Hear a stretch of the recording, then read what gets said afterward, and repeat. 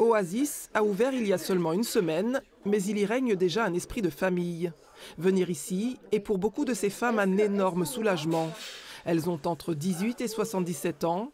Elles sont à la rue, comme Amina, 59 ans, qui reprend déjà espoir.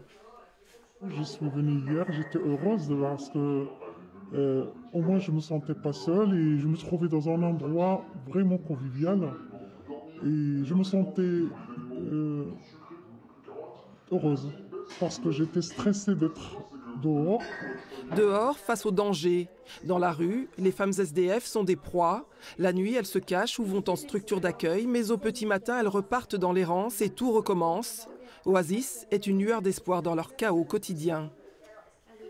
Et merci à eux parce qu'ils sont gentils. Le matin, c'est avec des câlins, c'est. Je me sens. Oui, la chaleur humaine. voilà, tout ça. Trois bénévoles sont là pour elles. Ces femmes reçoivent de l'aide mais sont aussi incitées à prendre des initiatives. Elles retrouvent les réflexes d'une vie normale. Euh, ça fait, ça fait une, semaine qu'on a commencé.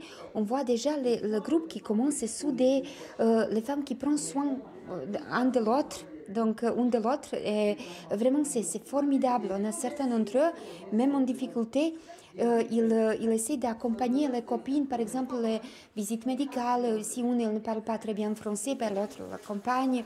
Euh, on cuisine ensemble, on fait le, euh, le ménage ensemble, on pleure ensemble s'il faut. Oasis leur redonne de la force et leur rend une grande part de dignité. Pour ça, il leur faut aussi un minimum de décence. Cet espace 100% féminin a besoin de soutien financier, mais aussi de dons comme des sous-vêtements neufs par exemple, ou encore du matériel, de couture, de maquillage ou de peinture pour des ateliers créatifs.